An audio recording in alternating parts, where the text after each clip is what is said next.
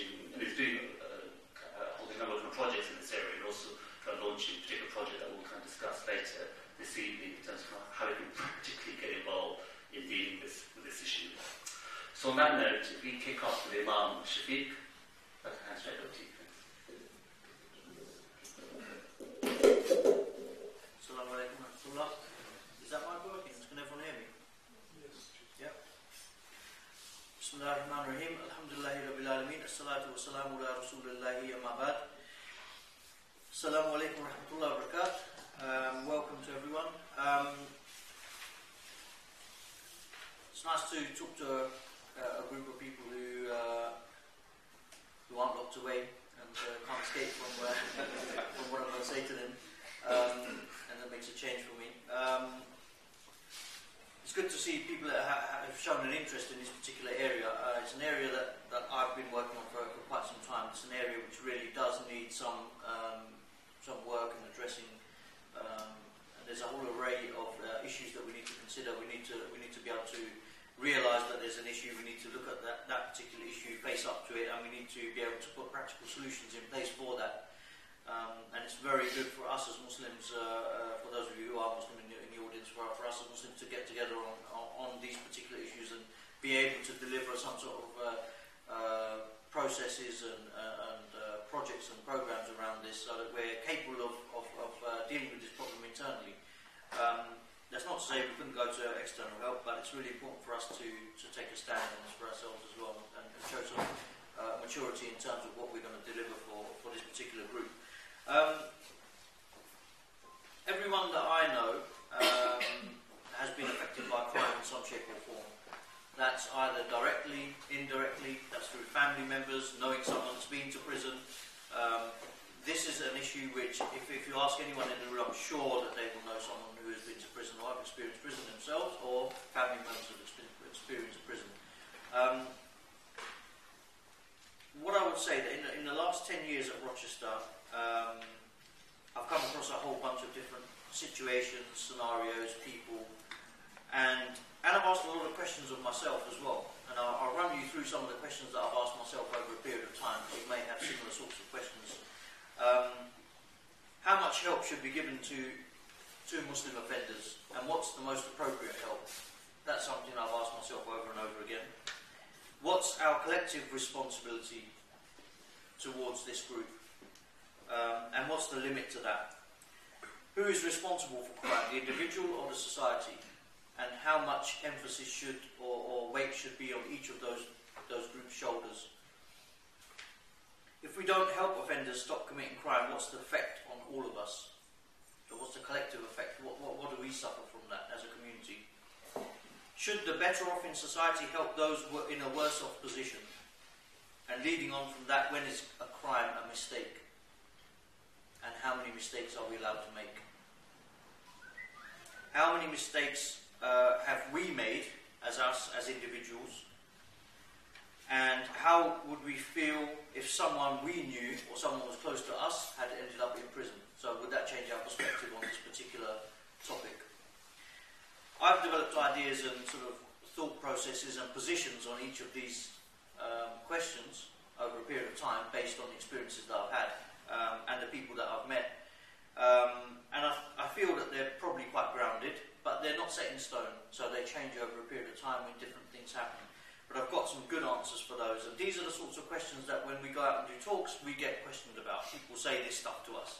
Why would we help these guys? They've committed crime. Why would we help a person who's committed crime? What should we do about this guy? He took it on his own shoulders. It was his problem. This happened. That happened. Da, da, da. So we have to have some sort of understanding around this uh, this area.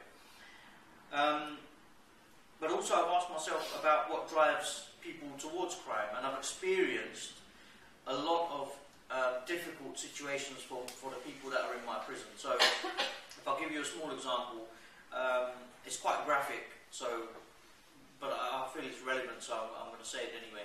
There was a young man who we had in our custody who was, um, he obviously had some kind of emotional issues and mental health issues. He would expose himself to anyone in the prison, uh, whether that be male, female, um, and he would get uh, sexually excited by fighting people. So he would fight officers and so forth just to get this kind of uh, excitement from it. Um, and a lot of people, when they met him, they said, you know, the guy's such a mess, you know, what a messed up guy, what a terrible guy, and he's a problem, he's a, he's a real issue in our society. But if you look at his history, and I'll, run you through a, a short potted history. Uh, when he was young, his mother sexually abused him, and his mother and father had split up. Um, she got arrested for that sexual abuse and went to prison. So he was then taken to his father. His father also sexually abused him. Um, his story, I mean, this is a Muslim we're talking about as well, by the way.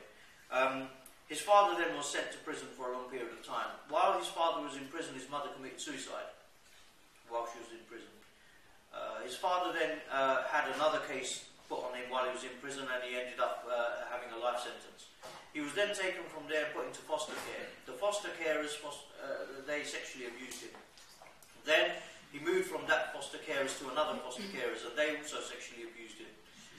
Then he ran away from that foster carers as they offered him a third family to go to. He ran away, and this was at the age of 12. Um, he ran away. Uh, he lived on the streets of London, and uh, over a period of time, obviously, he developed certain things that he had to do to survive um, and became a rent boy as, as part of that. So it's no huge surprise that you ended up in my prison.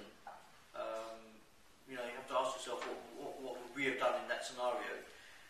So there's a personal responsibility there. You know, you, you have to take responsibility for yourself, but the questions have to be asked about where that responsibility lies and who, you know, who, who has an input to that. You know, what, what, what position are we in there? Some, some of the things that we see with people in prison are often repeated patterns. So there's some, some there's, there's quite an array of different things that make people commit crime, but they're oft repeated patterns and groups of people who go through the same types of scenarios. And you know you can categorise them into maybe a handful of things which pretty much everyone in the prison has been affected by. Um, some of them are really simple and basic, and some of them are a bit more surprising. That makes for uh, kind of interesting debate as to whether these things really have that effect or not, but that's my experience of things. Some of the things that really uh, do drive uh, crime are peer group, lack of aspiration, lack of skills, lack, lack of education, mental health issues, suitable accommodation, greed, gang issues, substance misuse issues, mental health issues, family issues, mental, physical, sexual abuse, finance issues, these are all really basic things that a lot or the vast majority of people within our custody uh, face. I'll throw a few facts at you before I finish, um, just to tell you sort of what, what sort of position we're in and whether this is an important issue or not. Um, you can you can judge for yourself. Uh, per capita, UK, we're I think one, two, three, four, we're fifth in in fifth, fifth highest prison population per capita in the world. So that in itself is a big concern. The various pieces of research have shown that when the difference between the top end of society and the bottom end of society is large, the larger the difference, the more people in prison. That's an interesting fact. Uh, Muslims in prison, we've already stated, uh, around about 13% currently, and 5% in the community, roughly. That's a bit of a problem.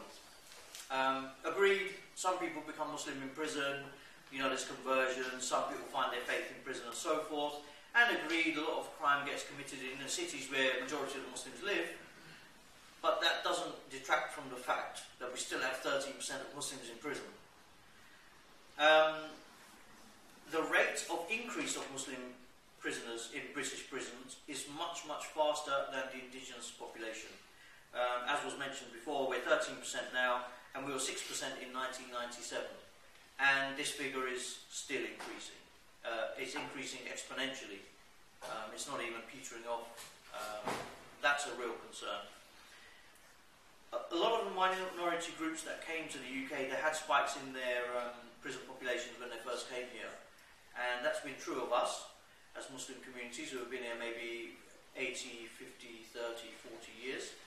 Um, the issue with us guys, unfortunately, as Muslims, is that uh, proportions of our community have not driven themselves out of that slum. So there are there are groups of our societies which have managed to do well and, and move on, and there are large groups of our societies which haven't and aren't and are still going down and down and down. Muslim young offenders, 17 to 21, represent a quarter of the prison population in some prisons that's a large percentage. Um, and that's even more worrying as you know we consider our youth to be our future. So that, that's a worrying statistic. Um, ages of people in prison, Muslims in prison, 12 to 70, 12 to 80. There's, there's 12 year old Muslims in prison, there's 80 year old Muslims in prison, and everything in between. Muslim countries represented in the UK prisons, not exhaustive, Pakistan, Bangladesh, Algeria, Morocco, Nigeria, Gambia, Egypt, Tunisia, UAE, Saudi, Turkey, Iran, eh, eh, whichever country you want to name, we've got people from those countries in our prisons. And also, if you think about the ethnicities that come with that, the uh, uh, you know the, the races that come with that, we've got pretty much all types of Muslims in prison. Um, Currently, most of the Muslims in my particular prison, they are uh, based around London. So that's the large proportion of, of the people and the surrounding areas they, they, in, my, in my prison that are Muslim, they're based around London. Crimes committed by Muslims in my prison, in all prisons, but certainly in my prison, murder, rape, um, paedophilia, terrorist, terrorist act, people are in there for terrorist act, uh, ABH, GBH, false instrument, burglary, handing stolen goods, drugs-related offences, robbery, you name it. There isn't a crime that Muslims who are in my prison have not committed. So it's not that we've got a particular issue like a drug problem or a. We've got a wide-ranging, uh, wide-ranging issues for, for Muslims being in prison. And uh, the last fact I'll throw at you is that um, crime is now becoming a second or third generation problem. So this is not um, first generation came, worked hard, didn't look after the youngsters, they went off the rails a bit, difficult to match into society, not quite knowing what your identity is, did a bit of crime. No, it's not. It's not that now. Now we've got people who whose fathers and grandfathers were in a trade, if you want to call it, and which was handed down to them. And now you've got people who whose fathers took them out, you know, doing burglaries because they were small and they could fit through the window. Okay, and now that child takes his own child out doing burglaries. Uh, I, I, went on the wing the other day and I was listening to a guy on the phone, uh, on the pin phone, and he was talking to someone who was laughing, really laughing out loud. And uh, when he finished, I said to him, "Why are you laughing?" And he said, "Oh, my dad said to me, it's really funny, son. You were in the same cell that I was in 20 years ago." this is a generational problem, and that cycle, that cycle needs to be broken in some shape or form. Now, in terms of Muslims coming back to prison, um, I get lots and lots and lots of people coming back to my prison. Um, I often hear stories of people who have left my prison and been shot dead, or they've uh, died, or something's happened to them. Uh, other times I, I never hear of them, I never see them. That's kind of depressing from my side. You know, when you've done some good work and someone doesn't come back, you don't see them. But the work that you haven't done so great, maybe, or someone hasn't been affected by it, they're the guys that come back to prison. And that statistic is, is, is pretty large. Sometimes they come back because they've broken license conditions, like, for example, got into an area that they shouldn't have gone into. Other times it's because they've committed crime or committed more crime. Um, I've had people in my prison that have been in prison six times at the age of 19. I've had other people who they've been in, and, in and out, and they're, they're at the age of 50 or 60 now. They've already been in and out of prison all their life. In my prison, we have 650 offenders, 120 are registered as Muslim, that's nearly 20%. Some have lifetime licenses upon release. Uh, for those of you who don't know the IPP system, you have a lifetime um, license, 99 years, and then you serve a tariff of whatever it be, 20 years, 10 years. Um, I've got a guy who's in my prison right now, a Muslim fellow who was 15 when he received a 24 year tariff on, on his uh, license. So he's done about five years now, he's got another 20 to do. Um, and then he'll be on license for the rest of his life. Now that's a significant problem because he's got another 20 years to do before he can apply for parole. If he doesn't get the parole, he spends another two years, five years, or whatever it is till the next parole, and that goes on until 99 years. Now, if he does manage to get out, he's on license for the rest of his life. It's a significant problem for us. Um, why do people come back? Well, the, things that I mentioned before are really key. Accommodation. If someone doesn't have suitable accommodation, they come back very rapidly. It doesn't matter what they've planned, what they've got, who they've got out there. They will rob someone to uh, stay in a hotel for the night, on a park bench, or get robbed or abused for, the, for yourself. So a lot of people come back the, the night that they go out. If they don't have accommodation, they'll come straight back. That's a key thing. Um, and they've got issues when people come out, right? So you've got this issue of jobs are hard enough to find, but if you've got a criminal record and you're turning up for a job, uh, you've got no chance. And so the cycle continues. What I've noticed though, for the people that don't come back, so we talked about people that are coming back and why they're coming back. For the people that don't come back, often the people that don't come back are people that have had some very shocking news in prison. One of my worst jobs that I have to do is, um, after I've checked things, is to tell someone uh, some terrible news. So, for example, to go and see an offender somewhere and tell him, sorry to tell you, your dad was found, uh, you know, hanging dead inside his house. Uh, your mother committed suicide your brother overdosed, your sister was shot dead, whatever it be. And guys who come into prisons often lead quite hectic lives, and the families are surrounded by uh, they are surrounded by also lead hectic lives. So when you tell someone the news like that, it often breaks the bubble, and that is the guy that doesn't often come back to prison. Um, so it tells you that there's there's something that's needed to change the mentality of a person who wants to change their life. It doesn't happen overnight unless there's a real big shock in their system. Um, we we in prisons, we're not really there to change people's mentality. That's a very difficult thing to do. I can work all day and do courses and groups and what have you with a person. Um, I can teach them to be punctual and uh, decisive and uh, know, I can teach them all of these things, but if they're going to still be a criminal on the outside, I've just made a more efficient criminal.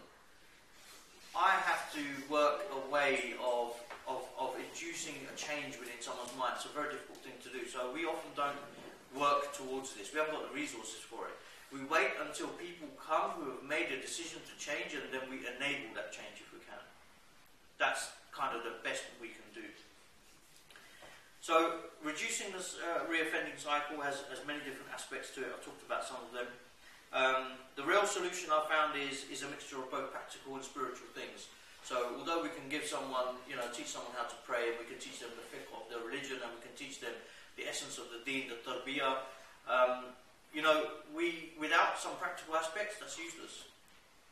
It's absolutely useless. If a person hasn't got work, they will soon go back to their old ways. If a person doesn't change their peer group, it, it's a total waste of time. And at the same time, we can't just pr- produce a house and a job and say, here you go, off you go. They also, you need a mixture of, of, of both of those things to, uh, in my opinion, to, to uh, induce a change and, and to, to, make a sustainable change for someone. Um, realistically, we can't undo a lifetime of problems in a few months or even years within the prison environment. Um, but there are elements of support that we can deliver which have a huge impact and can have long lasting effects and these effects on these young people have a ripple effect, i.e., when you fix one person or if one person fixes themselves or you help them to be fixed, then they go on and have better family relationships, better children, and so forth. And it's a ripple of goodness. If you don't fix a person in prison, or if they don't fix, then there's a ripple of badness that comes out. Um, I'd like to pass you over to Tariq, inshallah, just uh, to fill you in on some of the work that he's been doing with, the practical work he's been doing with some of the uh, offenders and ex-offenders. Thank you, Assalamu alaikum, uh, ladies and gentlemen, uh, good evening. Um, my experiences are, are, nowhere near as broad as Shafiq's experiences uh, these sorts of things all day long. And I've never worked with anyone sort of on uh, that has been um, sort of convicted of sexual offences or anything like that. I wouldn't really know how to deal with it. The majority of people that I have worked with over probably, a period of uh, 10 years, and I counted it out the other day, it's about uh, 23, have all been to do with crime gangs, that, that type of stuff. And you would, you would think that everybody that goes to prison comes from a bad family. It's, it's, it's, that's not really the case. I mean, I've worked with plenty of people that don't come from bad families, come from very, very good.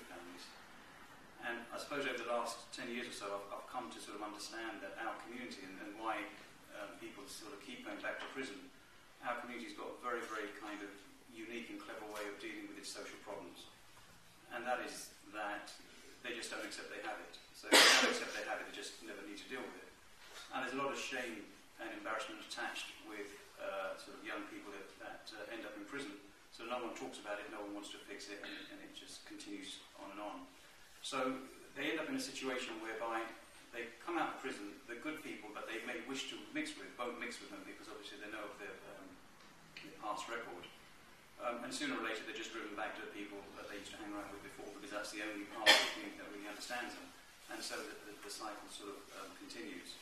And if you speak to sort of organisations like uh, sort of Muslim Youth Helpline, they will tell you how the community deals with these sorts of um, social problems. Then we go on to sort of other places like mosques and what, what sort of um, uh, role does the mosque play in sort of managing its youth and, and, and trying to focus the, the minds of the youth on something which is positive as opposed to the, the sort of stuff that they um, kind of get involved in. And that's a complete dead end. You know, most mosques have got no idea, they don't recognise the issue, they wouldn't know how to deal with it, and they think that someone who's doing youth work is someone who's young and is talking to the youngsters, and they think that's what is involved in youth work, and obviously it's completely wrong. Um, and then you, you kind of you, you hear it that you know if the parents should have brought up their children better, and that's true. Maybe the parents could have brought up their children better, but I would say that the parents' responsibility in the bringing up of the child is probably no more than about 30%. Because as they get older, they get to about 13 or 14 years old, the, the peer pressure, just everything that's around them, is, is, far, far more attractive. And if you have that within you, if you have that kind of rebellious nature and you're trying to break free of, of the constraints of the family you've been brought up in and you've been forced to go to the mosque when you really never wanted to go to the mosque, because the mosque was such an oppressive environment. Certainly, that's what it was like when, when I was growing up.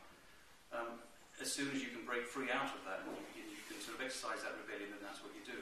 So I, I would lay less blame at the, at the parents' door. Um, I don't think the parents have got nowhere near as much control as, as people think that they have got.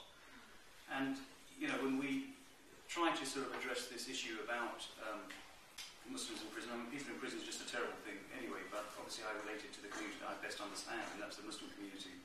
And when you try to talk about that, it's, it's exactly as Shafiq said, that you're in a situation whereby people say, well, you know, he broke the law, so therefore what's he got to do with us? You know, let him go to prison, and if he wants to go back to prison because he breaks the law again, then that should continue. I mean, it's nothing to do with us. But, you know, I've always said to people that, you know, a Muslim burglar, he doesn't discriminate. He may just come and burgle your house. The more there are, the, the more burglaries that will, that will take place. And the chance are they're going to do it in the area that they live in because that's the area that they understand.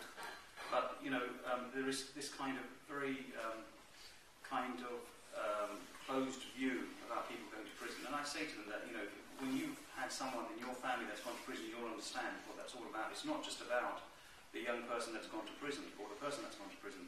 It's about the entire family, what it does to the entire family. And, you know, what, as far as sort of personal reputations and dignity is concerned, you know, um, people that have got very, very sort of uh, self-respecting parents have now got to sort of um, bow their heads as they walk through the streets, and that's, that's, that's very, very true. That's not an exaggeration. So I think that, you know, from, from my perspective, I think that we, we as a community should deal with our own problems. You know, we can rely on the government and the state and, and ask them that, you know, you should have this program, that program, but until we accept what the problem is, I don't think we're ever going to be able to deal with it. And even when we had this, when we set off down this road, and I've known Shafiq probably for about two years, and we've talked about this project uh, for two years, and, and I said to him that, look, you know, I've been working with um, and mentoring young Muslims that are either in prison or coming out of prison um, for about 10 years or so, and I would say that out of the 23, there's not a single one that's ever gone back to prison. But that's because that's very, very kind of intensive mentoring. It's not just about, you know, um, sort of meeting up with them once a month and then having a cup of tea and then telling them that everything's going to be okay and carry on trying looking for a job. It's, it's about finding a job for them. It's simple things like helping them fill in their driving license application because if they continue to drive without a license, they're going to, they're going to end up getting stopped by the police and then they get um, and they're recognised again, and then, and then, the whole sort of cycle continues. And some of these people, and they're quite, some of them quite young, 18, 19, 20, and they can't fill in a, they can't actually fill in a license application. They actually don't know what to do, and they want to do it, but they don't actually know what to do. Even so much so that you've got to kind of pay for it because if you don't pay for it, they're not going to get it. But once they get it and they've done their theory, you know, they're kind of like over the moon because it's an achievement in their life. The fact that they've got a driving license, which is now one step closer to them to be, um, being able to drive. So a lot of these people are very, very naive. They don't really necessarily, from certainly from my experience, have the social skills to deal with some a lot of the issues uh, now that they've never been um, sort of taught it. And my, my view has always been that you know you have to take control of your own community and do and, and, and try to deal with your own community first, rather than um, sort of thinking that it's, it's somebody else's problem. And you know. Um, I've also found that you know the, the perception of, of people in prison is, is certainly the ones that I've worked with is that the prisons prison is full of really, really terrible bad people. It's not. It's, it's, it's full of a lot of very, very good people that have done some very, very terrible things. And some of those terrible things have been done because of their circumstances and because of what kind of support systems they've got around them. It's done out of desperation. No one actually really wants to go to prison. Um, and when you get into that kind of desperate state and you've got no opportunity, you've got no education, you've got no way of getting a job, you've already been in prison two or three times, you can't give anyone a CV you can't tell them what you've been doing for the last three or four years. You're not going to get a job because no one's going to uh, willfully employ um, someone that um, you know sort of commits crime for, for a living. So I think that um, these are the sorts of issues uh, that we're dealing with, and we're kind of because as a community and probably as a wider community, we're forcing them back into that kind of position because there's no other way of them sort of earning money. Um, when I started off down this road, um, sort of about 10 years ago, I, I had friends of mine that, that are lawyers and they'd ring me up and say, look, you know, would you mind um, speaking to this particular family um, because they're very, very distraught. They can't, um, they can't deal with their son or he's in prison or whatever. And I would always say to them that, look, here's my number, ask them to give me a call because I know that if a parent is going to call me, someone they've never met before, they've got to be absolutely desperate. That means that they don't have anyone within their own circle that they can talk to. Maybe they don't want to talk to anyone in, in, in their own circle, but whatever it is, they've got to be very completely desperate. And sometimes they'll spend two, two and a half hours on the phone, starting with you know what they were like when they were young, and how this happened, and how that happened, and how they blame themselves, and so on and so forth. And I've heard it so many times that you just know what, what the pattern is, is, is really going to be. Um, and you set off down this road of, of, of, trying to help people, and a lot of it is just trying to understand exactly what's going on in their head and what, what are the what are the, the, the, the buttons that you need to push, which then starts making them think about it. And you know, I'll say to people that are sitting in prison that look around the prison and you go on and speak to the 50 year olds in prison and ask them what has happened over the, over the last sort of 30 years they were, or 40 years or so when they've been coming backwards and forwards. And that's where you will be unless you decide to make some changes. And those changes aren't going to be easy and it's going to take a lot of time. And you have to cut yourself off from everything and everybody that you know because those are the people, and I'm not saying they're bad people, but they're just bad for you. And you have to create that separation. You have to cut that um, umbilical cord. Do you know what an umbilical cord is? No, then I have to explain to them what it is because some of them don't actually know. Um, and it's very, very hard. It's extremely hard for them because they have a they have a culture, they have a lifestyle, and to just um, sort of step away from that and go and sit in the corner it's not easy to do, and they can't go and sit. They can't. They can't go and sit with that part of the community that is considered to be respectful or respected because they don't want anything to do with them. So it does become very difficult. The most, um, the key aspect of all of this is to find them a job. If you can get them a job and they can get some kind of um, money coming in, then there's less chances of them sort of uh, reoffending. So the way that we've always focused it is that we find them a job. A lot of these guys have, have worked with us. Um, and I've got one guy that's working with us at the moment um, who's from Slough. And what we've had to do is just take him out of that, that whole Slough environment, that whole kind of gang culture where, you know, his mother would ring me up at 11.30 at night and say that um, I found the gun, but he's gone again. And it's 11.30, there's police up and down the road and he's not answering my call. Then I'll ring him up and I'll say to him, you know, Fuad, where are you? He said, well, I'm just on my way back. I said, whatever you've got in your bag, you need to leave it somewhere because there's police on your road. So it's that kind of conversation. And these conversations can take place at 11.30 in the, uh, um, at night. It can take place at 4 o'clock in the morning because they now need someone to arrange a, a firm of solicitors. Do you know someone? And, you know, and it's generally the parents that will call. And they're, they're completely, completely distraught because they can't connect. There's no connection between them, uh, between um, uh, the, the, the, parents and, and the, the young man that's uh, sorts of offences. So um, I came across Shafiq and I suppose we've been working together for a couple of years to try and find a solution to this. And then, you know, I knew uh, the National Zakat Foundation, I knew Iqbal, and I presented it to them. I know they've done some work sort of with Women's Refuge, and they had the various pieces that we felt were needed, you know, some among those that were providing the housing element. Um, Shafiq, I suppose, is providing the raw materials. He can assess who in prison is ready for the kind of program that we're putting forward. And people like us that come from the, uh, the business kind of background, and we've got you know, huge numbers of people that are friends of ours that would um, that would want to get involved in a project like this. And I've always said to people, friends of mine that have employed people that come out of prison, I've said to them that you know when you get somebody that wants to change their life around, they are going to be the most punctual, the most reliable person because they know what it is not to have that job and what it is then to go back to that life from before. So my view is, and, and, and certainly my experience has been that anyone that really wants to change their life, they're not going backwards. You know, as long as we don't force them to go backwards. And I think sometimes that responsibility um, sort of very much falls with the community. We've got um, our big sort of business uh, networking fundraising event on February the 24th. I'd ask um, everyone to support it that can. Uh, Nick Clegg is our guest speaker. They, you know, we've sat within government circles at the highest levels of government and said to them, this is the issue, this, this is how we're actually dealing with it. But we can tell you we don't require any money from you. We're just letting you know what it is that we're doing and how we're doing it. We're funding all of this ourselves. So I mean that's that's pretty much the right um, sort of got to this particular program. Uh, thank you.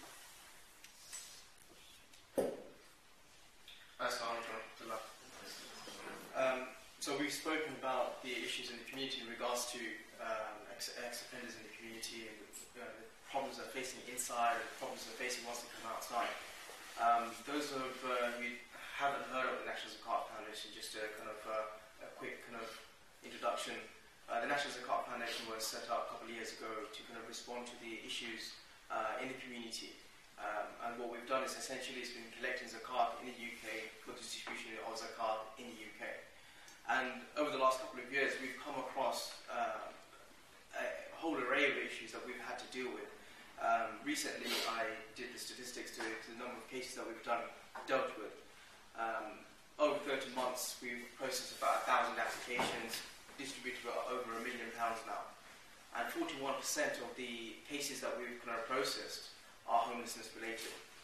Uh, and of those cases, most of these cases are related to uh, domestic violence, um, ex-offenders, people falling into debt and they've become homeless. Um, and so those are the typical cases that we deal with. Now, what the National Zakat Foundation has been doing over the last couple of years, once we've kind of uh, been collecting the data and understanding what the issues are, we've been trying to look for solutions. Solutions that's going to give a, a kind of sustainable, independent kind of uh, living for an individual. So it's not a handout so that, you know, here you go, £30, that's your week's food, and you should be okay from next week on, because that's not the case. Because next week you're going to need that £30 again, because the root cause of the problem hasn't been dealt with. And, and, that's what we're trying to do. So in this, this project here, where we're dealing with um, uh, trying to kind of find a solution for ex-offenders going through this uh, vicious cycle of coming out of prison and going into prison, um, we've come with this uh, with this project. And I'd just like to kind of pause for a second and say that this project would not have been possible without the uh, the openness of uh, both Shafiq and Tariq. It, it re really is, uh, we've been here for 60, 70 years in, in the UK, and a project of this nature has not been delivered. And we're only able to deliver a project of this nature because of the contributions of the two individuals at this table here today. Um, so um, may Allah make, uh, you know, make it easy for them and uh, give them abundant reward. Um, I'll just give you an example. I know we've talk, spoken about uh, some of the issues uh, the ex-offenders face, uh, but if, if an ex-offender is coming out of prison and he's got no family, no friends, no relatives to return to, and for argument's sake, they, they're only given a small amount of money. So let's say for argument's sake they're given £100 and they don't get £100. They're given £100, for example. When they come out of prison, they're homeless. So the first thing that's on their mind is shelter. Now, where do you find shelter that's going to sustain you for an X amount of enough, long enough period where you can get a job with £100? So if you go and book yourself in the most cheapest uh, hostel in, in London, for example, it could range between £8 to £16 to £30 to £60 a night. A night. And then he has to deal with his kind of hunger issues. He has to deal with the fact that, you know, you know, the government has, has stipulated that £30 is sufficient enough money for an individual to kind of survive on, on a weekly basis for food. Now, you, you just do basic maths here. That £100 is going to run out in a matter of days. So in a matter of days, this individual is going to be homeless, he's going to be starving. And what does he end up doing? He's going to end up trying to kind of feed himself. So if he goes to the masjid, and the masjid doesn't deal with him or doesn't support him, he's going to go to a shop where he can get food and he hasn't got the money for the food. So what does he do? He's going to steal the food. He gets caught and gets thrown into prison. A couple of weeks ago, I, re- I recently read an article where an individual, a lady, was forced to um, uh, give birth to a child in prison. Uh, it was a miscarriage, and she was uh, forced to stay with with the unborn, with the, the born child that was dead for for two days at a row, and she had to clean up her own mess. And the reason why she was in prison in the first place is because her benefits were cut. And because her benefits were cut, she ended up stealing from a shop. And when she stole from a shop, in caught and she's in prison. And we're getting benefits cut all over the place. A couple of days ago, I read another article where an individual who's disabled, who was told that his, uh, his disability allowance would be, uh, would be cut. He just couldn't take it. Because over the Christmas period, he couldn't celebrate Christmas. He didn't have enough money to and we even feed himself, forget gifts. He just took his own life. And this is just not an exceptional case. It happens all the time. And it's become increasingly common. Um, so what, what, what, what's the project that the National Zakat Foundation is doing? So the project is that we're commissioning St. Mungo's, one of the largest homelessness charities in the UK, to deliver a project for ex-offenders. The, the project itself is going to have three roles, is to provide employment, support and um, and housing. So the, as soon as they come out, they will be referred to uh, this project. They the housing is housing need is provided for. BCBN would, through its business network, will try to get employment for him, and if not, the support that he gets in, in, in the housing uh, project will be able to kind of enhance the CV, enhance the skills, and be able to go and get a job out there. Um, this is the, so this is a step-by-step process. Now, we uh, have a couple of projects with other sh- um, shelter projects. So, for example, we've got one for Muslim women in South London uh, in partnership with St. Mungo's. It's a 14-bed uh, project where uh, homeless uh, women are able to kind of stay in a Muslim environment and have their needs attended to. And we've got another project in Birmingham, uh, again delivered by Trident, to attend to the needs, needs of Muslim women. And we've got soon, in the next couple of months, we will have another project opening up in Manchester, again attending to the needs of Muslim women.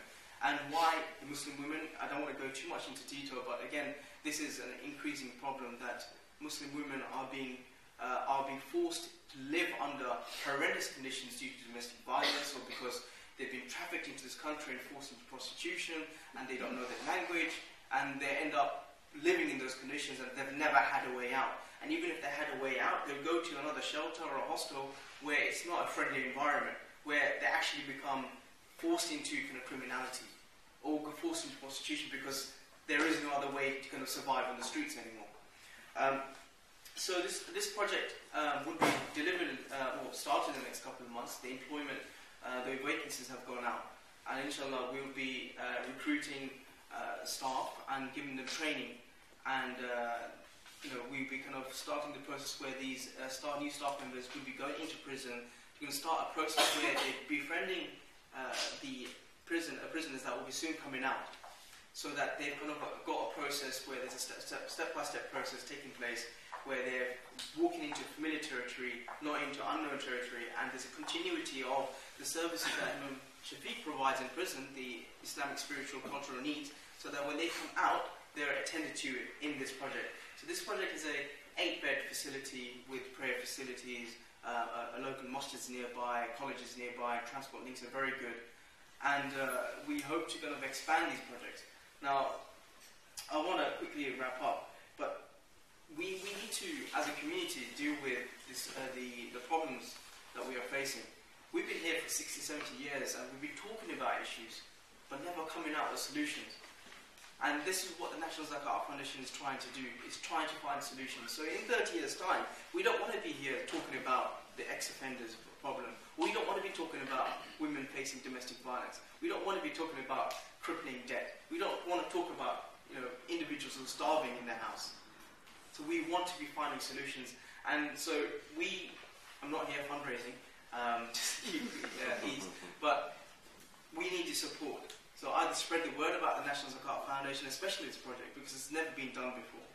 And if you would like to volunteer or if you'd like to find out more about the National Zakat Foundation, please approach me. I've got a registration sheet here so you can put your name down and I can send you um, the details. And uh, just going to reiterate, the fundraising dinner for uh, this project will be on the 20th of, of, February. So please buy your tickets through the BCBN uh, website. And we look forward to seeing you there, inshallah. And if you have any questions, feel free to ask when the time is right. Thank you very much, all, all three. That was a good um, comparative view there of both the problems and some of the um, solutions. I mean, what, what I guess hit, hit me in terms of, in addition to accommodation, which is absolutely critical, but also this kind of developing a buddy network, just to kind of almost kind of more people like you know, that, what the TIAC has done in terms of you know, real kind of practical, you know, how to fill out forms and you know, use a driving license or how to kind of apply for whatever kind of services they need and so on, and just having that kind of giving them good company, you know, even if with their families don't provide that, at least kind of alternative company. And it's actually tragic that kind of in this kind of situation. Then one thing I didn't quite pick up though is really into why is it that there's there's more Muslims in this situation? Is there anything particular there? What is it? Why is that the percentage more in Muslim community? Well, I mean, that's, it's a really difficult um, question because there's so many different factors that uh, that influence this. Um, I mean, what I would say is that the people that, in, that, are in our prisons currently, they all come from, they, they all have a similar kind of a background, in so much as, I'm not saying that everyone comes from a, from a troubled background, but there's certain things which are missing within their particular backgrounds, which, which uh, contribute to their committing crime. But there's an added layer for Muslims, which includes um, uh, stigmatization from the community, um, you know, for, for, crime. There's an added layer for people who have to lead, lead two different types of lives. So, in other words, they're Muhammad at home, you know, and when they leave the door, they become Mo, and it becomes a different type of, uh, you know, criteria to fulfill with your, with your peer network compared to what you're going to be doing at home. Um, there's also this issue of um, parents uh, not necessarily having a great understanding of what's going on in the communities. Um, we've done many uh, networking sessions and, and, workshops with communities, and that's from the sort of um, Eastern European communities, the Albanian communities, and other Muslim communities, Somali communities, and so forth, where we've had to explain to the parents, you know, these are the issues that your kids are going through. Do you know what your kids get up to? Shall we show you the YouTube video of your young, young uh, Adam, who you say is such a lovely guy? But here's a YouTube video of him telling, telling other people in his uh, outside of his postcode how he's going to shoot them next week. Or do you know that they're smoking drugs? Do you know what drugs are? We've had to do workshops with people where we've set up rooms and we've put drug paraphernalia there, and we've asked people who are who are parents to come in and recognise what drugs are there.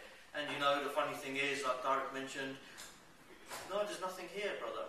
What about the, uh, the, the foil there? It must be chewing gum. What about this pipe here? Oh, that must be, you know, shisha. Uh, what about this uh, uh, this syringe here? Oh, maybe, maybe he's diabetic. These are the kind of things you hear from people. They don't want to face the fact that their children are involved in X, Y, and Z. And then there's the masjids and the communities. Not not all masjids, obviously, but some masjids and the communities out there do not know how to engage with Muslim youth. They don't know what's going on in their communities. When we did a lot of talks to engage the, um, the, the masjids, we had some imams that come to us, and we had a particular imam who came to us from a very, very terrible neighbourhood where there's lots of issues going on. And I said to him, a lot of issues in your community. He said, yes, that's right. Um, two Afghani boys beat them, so, beat each other up yesterday outside my masjid. I said, are you, are you sleeping? You've had shootings outside your masjid. You've got people who are uh, selling drugs outside your masjid. You've got people who are storing guns inside your masjid. But you're worried about Afghani people beating each other up. You, you don't even know what's going on in your community. Now, how is that imam going to communicate with a young crowd or even the general population? What, what, what understanding is he going to have? Was he going to give fatwas and, and fatwas about what's going on back home? or what, what we did 20 years ago or 50 years ago? Or is he going to really talk to the Muslim community about issues that they're currently facing? Is he going to be able to answer questions? I mean, when I was sitting in a class once, one brother, he says to me, I want to ask you something about sex. I said, okay, and someone else said, Astaghfirullah, how can you ask him about sex? Our community, this is a significant problem in our community. Can any of our youngsters go to the Imam and say, can you tell me about sex? What will the Imam say? nine times out of ten, that guy won't go to that masjid again. Then there's other issues that we've got in our community where people aren't developed enough to deliver a solution. So, for example, a lot of my guys that come to my prison, of course, the families have told them, "Where's your son? Studying in Dubai, CEO of a, such a company in Spain." You know, because they don't want to face this this issue. They'd rather that than, than be stigmatized in their community a young man that left my prison, he went out and he came back a soon while after, and I said to him, How was it? He said, It was terrible. I said, What? He said, I went out to Jummah, I sat in the masjid, while the Imam was giving the khutbah, he noticed me. He said, Oh, brother, please, uh, stand up, please. And when I stood up, he said, uh, The young brother has just come out of prison. If anyone can give him a job, that would be very valuable. Now, alhamdulillah, the intention was good, uh, but actually, his family had told him that he was studying in Dubai. So now he's, him and his family cannot go into that masjid or into that community. Now, it's all very good. Number one, we have to face the issue. Number two, we have to have a good intention about the issue. Number three, we have to actually develop an understanding of how to help. Number four, once we've done that, we need to be in a position to help. So, for example, you go to a mosque and say you would like to do some work with youngsters. Okay, what would you like? What, what capabilities have you got? We've got a table tennis table. Is that it? That's your capability.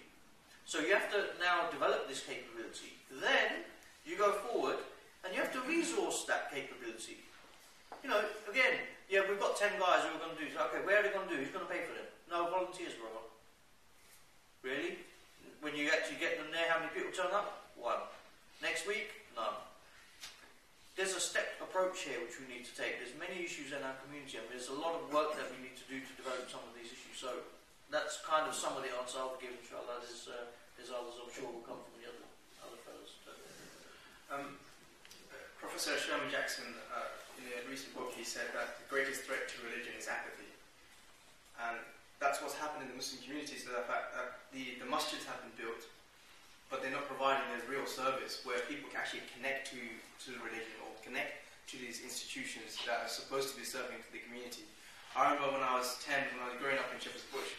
Now, Shepherd's Bush is uh, quite a nice area to live in now, but it wasn't a nice area when I was growing up. It was really rough. And even at the age of 10, I knew that, you know, this is going to be a difficult run. Like, it's going to be very difficult, difficult to get through this. So even if my parents decided, you know, let's let's go to Bangladesh for about three years. You know, there's a British private school there. You know, I can afford to kind of pay you uh, pay the fees there. So we went to Bangladesh for three years. I come back. Three of my best friends, three of my best friends, and they were very able students, very able students. One of them goes into prison for GBH. One goes into prison um, for drug uh, for you know, selling drugs, dealing drugs, and one of them just got shot because he was the uh, he was selling drugs, and the next rival uh, drug dealer wanted to get rid of him. Uh, and so a lot of these individuals, and uh, you know, would go to the mosque and have a service, you know, catering to the to their needs. And you know, we don't even have youth clubs as as common these days. So there's a lot of issues to be dealt with, and you know, we need to kind of um, kind of really kind of looking at the root causes of these issues. Mm-hmm.